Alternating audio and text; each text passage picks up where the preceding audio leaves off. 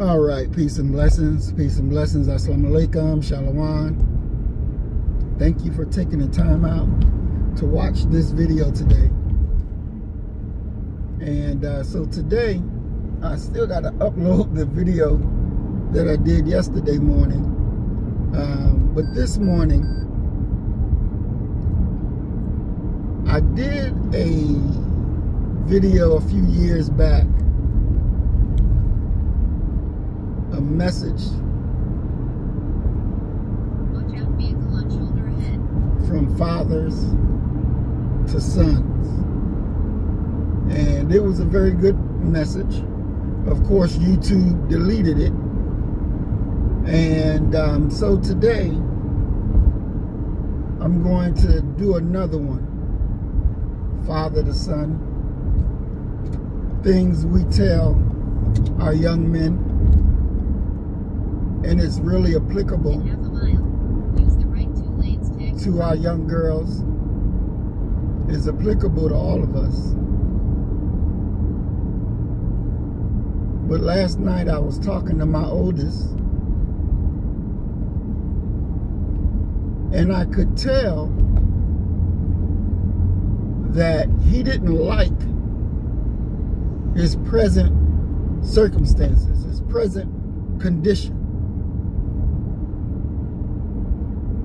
And you know, when you're dealing with your children, and as they get older, and according to this world standards, you know, consider themselves to be grown. Just because the world says you're grown at 18, that don't necessarily really mean that you're grown. And we have to be able to understand that very key important thing. It's not your age that makes you grown. It is what do you do? It is your thinking, how you process inf information. It is your behavior. These are the things that go into being grown. And a lot of our children that are quote unquote 18 and over, they're still children. They're not grown. And some of us, you may be 60 years old. Damn it, you're not grown. Look at your behavior. You ain't grown. You may grow in age. But in the mind, you ain't grown.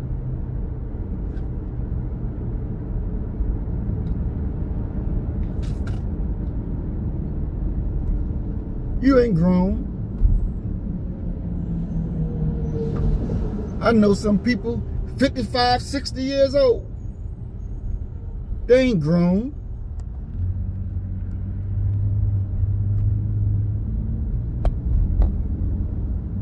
You may be grown in the white man's world. But in the world to come, in God's world, you ain't grown.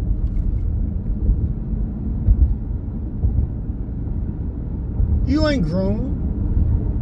Where are you in the understanding of the time and what must be done? Where's the proof of you being grown? No, you growing. You're growing into your proper self. Should be. Some of our people once they reach a certain position, they're dead. They're not growing into who they should be. They're satisfied with what they have. They're satisfied with their position. And in their satisfaction equals their death. In their satisfaction equals their death.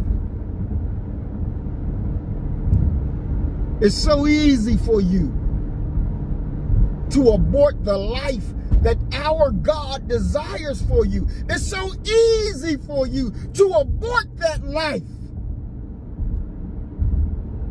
because you don't want to struggle with nothing. You don't want to struggle with the pace of self-development. You want to see things in your line of sight. And not see things as they should be seen.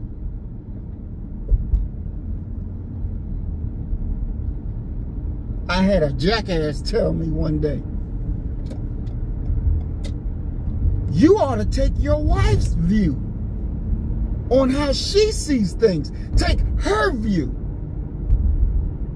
I'm supposed to take her view over God's view? If I know his will, I'm supposed to take her view over his will and say I'm the head? The hell is wrong with you? Notice when Adam ate the fruit or Eve ate the fruit from the tree, nothing changed when Eve ate it. Nothing changed when she ate it. It only changed once Adam ate the fruit, then the change came. Why? Why is it that the change came, the fall came, not when Eve ate it, but when Adam ate it? Because God gave the instruction to the man, gave the responsibility to the man.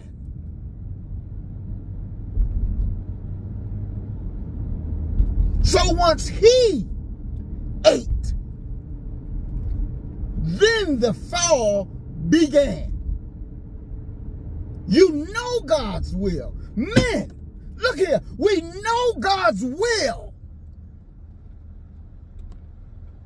And you going to punk? Because your wife don't want to accept his will? Even for her damnable life? So you reject truth. You reject God to be comfortable in your own death. Is this the thing that we're supposed to do? This is how we're supposed to behave? No. No. That ain't how it works. You know God's will. You got a responsibility and a duty to carry it out, to obey it for your benefit and hers. But if you're a weak thing, that you crumble, how are you going to grow in your godhood? Because she weak? Then you supposed to become weaker? You're not supposed to pull her up to the standard.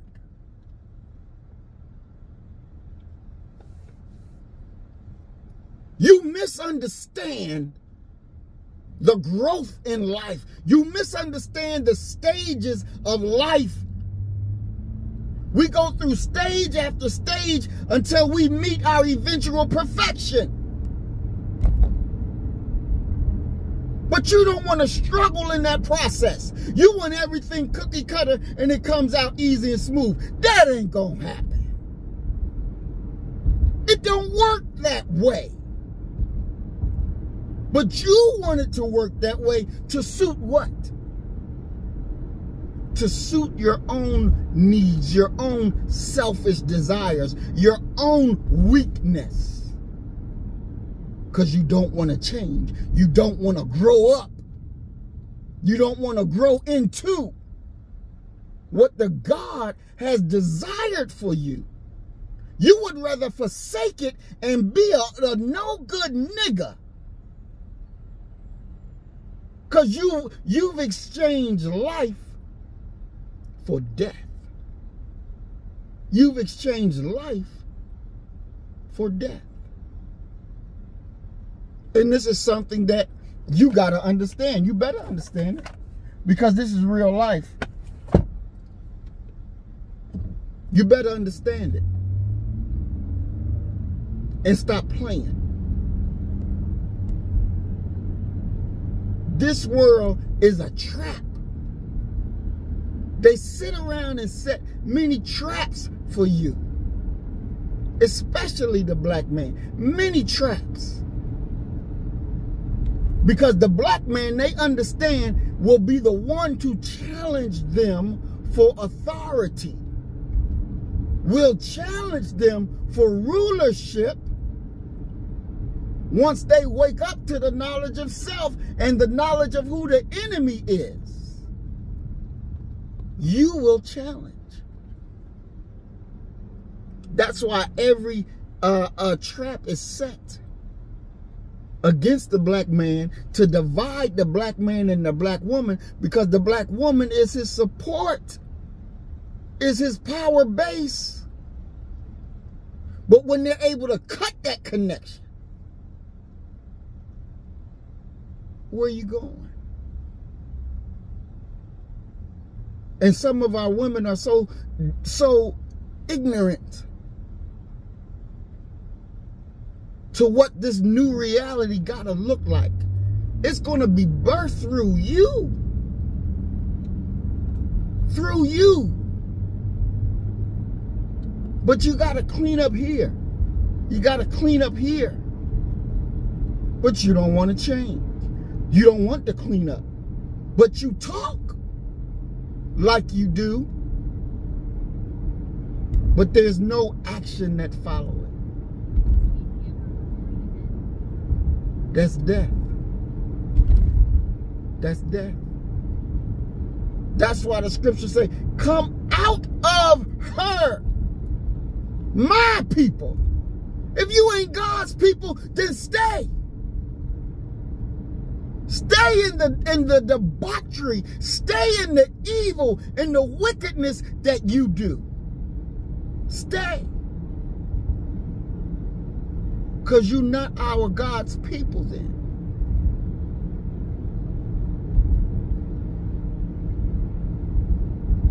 And every trap that is laid you can defeat. You can defeat. First of all, you got to want to defeat it. You have to want to defeat it. I told my son, I said, look here, boy. Just like the prodigal son in the Bible, you're in that same similar situation. Your brothers and sisters, they stay under what they were taught. They operate within the rules of what they've been taught in their lifestyle. But you, you wanted your inheritance and you wanted to be free now. You wanted to be able to do your will now. So you left your father's house and you went out in the world and you're shaking and you're partying and you're drinking and you're having a good time. Not knowing a famine is coming. Not knowing death is coming. Not knowing destruction is coming. Because you having a feel good time. You didn't think you was going to have to pay for that?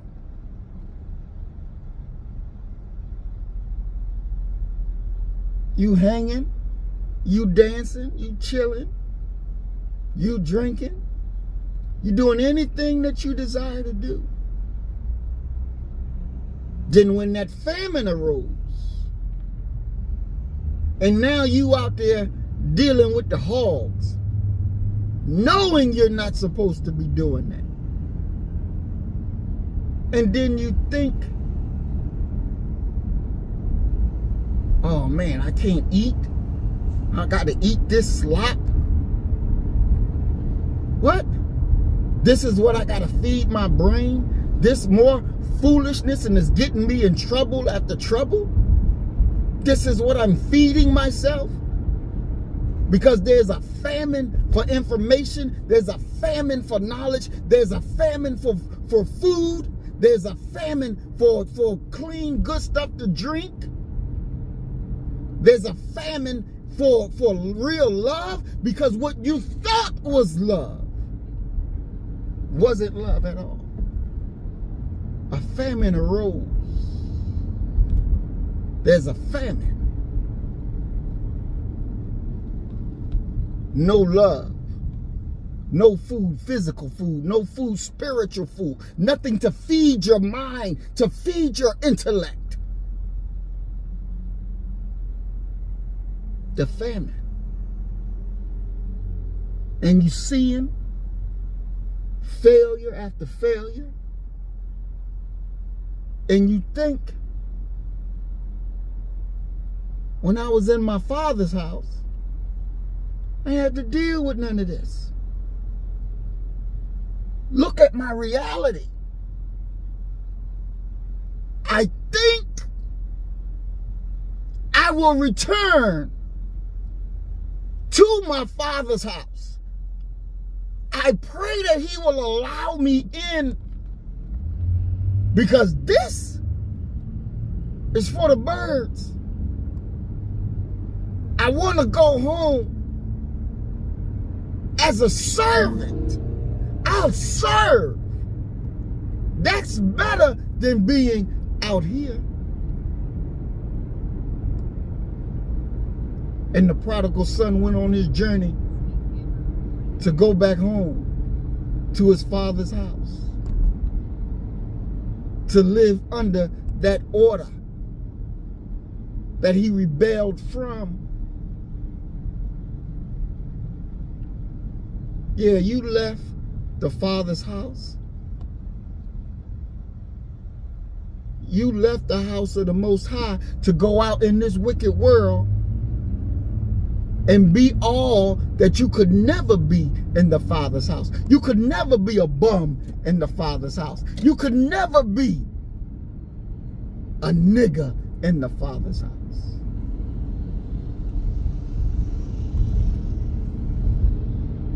You could never be unloved in the Father's house.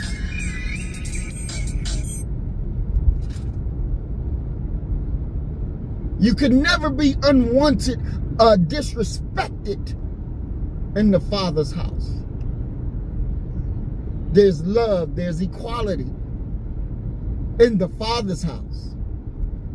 But you reject the Father for the enemy's world. And you're rolling around with Satan saying you got you having a good time. You exchange life for death and expect to be blessed, expect to come out clean on the other side when you reject truth and you you give your life your life energy your life forces over to that which is a lie. And you've eaten the lie and because you have eaten the lies you become the lie. And you spread lies. Because that's what you have become now. You've thrown away the truth to embrace that which is death itself. And now you have to have the understanding of, I gotta get up from here. Now it's to take strength and determination to get up. What did we speak about earlier? We spoke about when Job was, was complaining to God down there in the sand. And the God told him, brace yourself and talk to me like a man. Get up and be clean.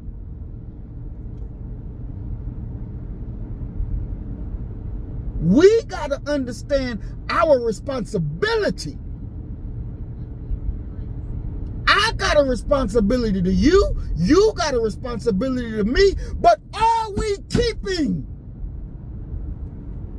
our responsibility to each other?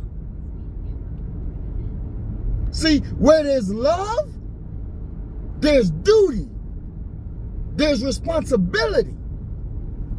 But when you want to remain a part of a dying world, you abandon your responsibility. You don't care about no responsibility.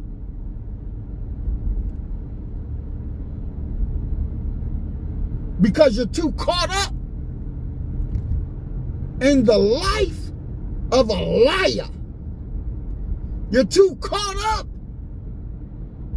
in a life that is death itself.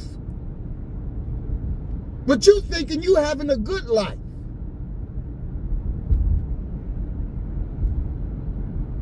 This is the day that all of that foolishness ceases. You want life? You want life more abundantly? Make your way back to the Father's house. So I told my son, I said, look here, man. You, if you want to leave your present situation, then you go tell them people you want your freedom because you don't have authority over me.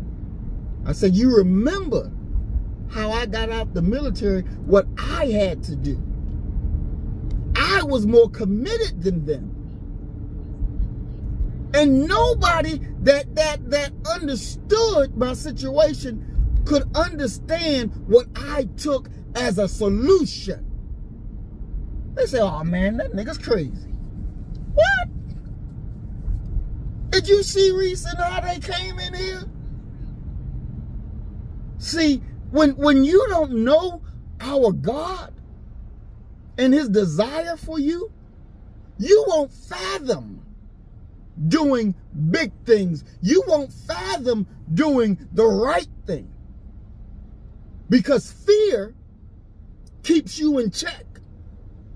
That's why the scripture says, I, God speaking, I did not give you the spirit of fear, but of love and a sound mind. So since the God didn't give you the spirit of fear, how did you get it? How did you get it so much so that you've given your life's authority over to the enemies of God? How did you give that over to them?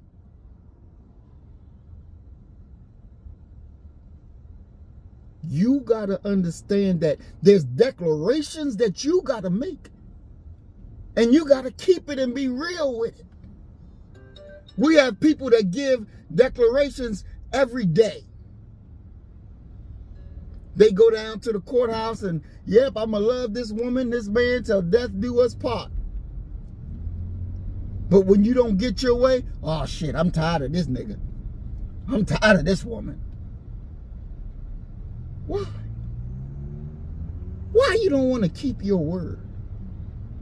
Because your word never meant anything. It never meant anything. Oh, you the last person I'm gonna be with. You this, you you liar. And you're so comfortable in your lies. Because that's the life that you live, that's the life that you want. You don't want to struggle. But as a sperm, you struggled when you was emitted into your mother and you was going upstream. That was an upstream struggle. But you made it. You were determined to make it. So you got to be determined to rise up out of that condition. You can do it. You can do it. If I did it, it ain't got no federal record, no state record, no city record. You can do it. My determination was freedom or death. Your determination has to be the same. Because when you understand that that that the enemies of God they're not God. But you see them as that. The man in the Bible. How do you see men? Oh, I see them as trees. Well, what does the tree do? The tree helps to create the oxygen so that you can breathe. So you see the enemies of God as trees. So you getting your your your life force, you're getting your your your air, your oxygen to breathe through them. That's why I told you the very first video that YouTube ever took down of mine because I was teaching you to cut to cut the umbilical cord from this enemy because you're feeding from them and I said, hook your umbilical cord up to our God. That was a perfect message. And YouTube deleted it. And YouTube deleted it. Why? Because what I'm saying is the truth. But they don't want you to understand what I'm saying. You look at all these negative videos, Maurice Muhammad this, Maurice Muhammad that, and you report every last one of them that go against the community standards. And they're never taken down. They're never taken down. The, cha the channel never gets a strike. So they're doing the will of the enemy to just try to destroy my character to try to stop you from connecting with your brother. Why? It ain't because I hate you. It's because I love you and I'm willing to tell the truth. And you'll sit there and you'll listen to your brother. And you'll change your ways.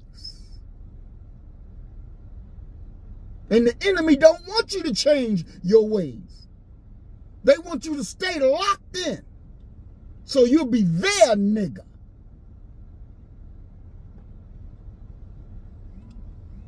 I want you to grow into your godhood like I'm growing into mine. Like I'm growing into mine. Yeah, there's been pain, there's been struggle, there's been difficulty, there's been hurt. I done been through a lot of shit. And so have you. But we don't give up. We don't punk out. We go through the pain because there's something there for us on the other side.